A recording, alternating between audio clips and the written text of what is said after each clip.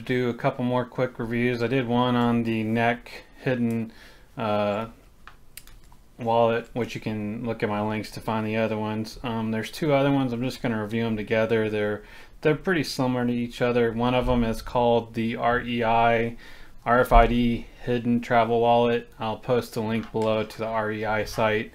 Um, so this one's $12.50 as of July 17th, 2016.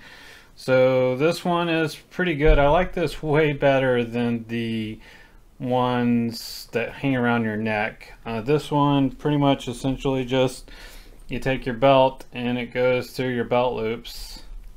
So because it's doing that, you can easily kind of flip it into your shorts or pants, whatever you're wearing. And then, I mean, if they were to kind of look at your belt and you didn't have anything that was over your belt, maybe they could see these little things, but probably not. It'd be really hard to see that. Um, you can barely feel that it's there. Um, this one has a couple of pockets in it. It has like a big pocket and then two smaller pockets. Um, so you can kind of separate like maybe uh, your passport can fit in here and then you could put like uh, maybe cards in these smaller slots. Um, they're about the size of a credit card. There's two of those slots and it's a zipper and this is supposed to be RFID proof. I didn't test that. Um, but I don't know like people I don't know how well that equipment works. Just I doubt they point it at people's pockets. Maybe they do but I bought it more for hiding the money basically. Um, so you can put cash in here. I wouldn't put change in here. Um, but definitely bills of whatever denomination you're using along with credit cards could go in here in your passport. And you know in fact it's you barely notice it at all so much that whenever you use the bathroom or if you were to like take your belt off, you have to be conscious of it because it will just fall on the floor.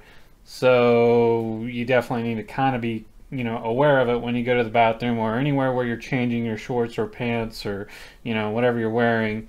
You'll want to make sure you don't forget this. That's probably the biggest warning I could say. Um, other than I don't really have a negative thing to say about it. I liked it. It's pretty easy. Like if you were in line, you could easily flip it out. Obviously, people would see you do that. You may want to like go somewhere more private or while you're sitting down to pull it out and then pull your money out and then go up and do the interaction go again somewhere where people can't see what you're doing.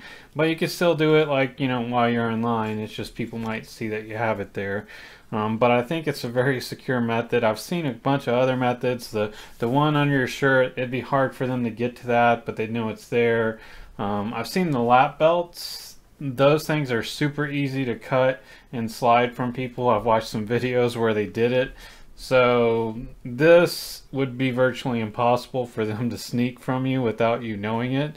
Um, and they wouldn't know it's there really. Whereas the it's obvious to them when you're wearing one of those um, waist wallet things, not not the fanny pack or whatever, but the it's just a really slim thing that goes around your waist to put money in. Um, I don't recommend that one because they do see that.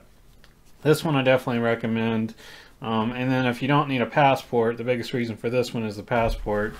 Uh, they also have this one, which is called the REI RFID Clips, Clip Stash Wallet. Um, it's $12. It's uh, a little bit smaller. Um, so like I said, you can't fit, you know, obviously a passport in here. If you had the passport card, you could use it. I don't know how many places actually allow you to just use your passport card instead of your physical passport. Um, it really just has the one pocket though, so you could put, you know, money, uh, credit cards would fit in here. Uh, not a whole lot, um, but it would fit in there and it's got a clip, so it would go around your belt buckle or it could even go around, I guess if you had a necklace or something, you could clip it on that. Um, pretty small, supposed to be RFID proof also. And I kind of use both of these. So like you could use this, let's say uh, this one was a lot easier to pull in and out. This one's a little bit harder.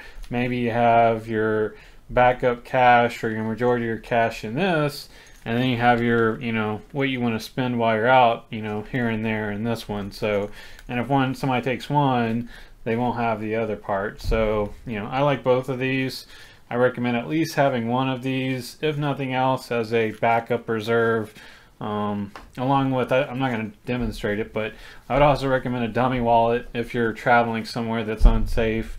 Um, just put some, you know, some money in it, some fake BS cards, um, and then keep your real, you know, ID and money, stuff like that, in one of one of these two. I would definitely recommend these.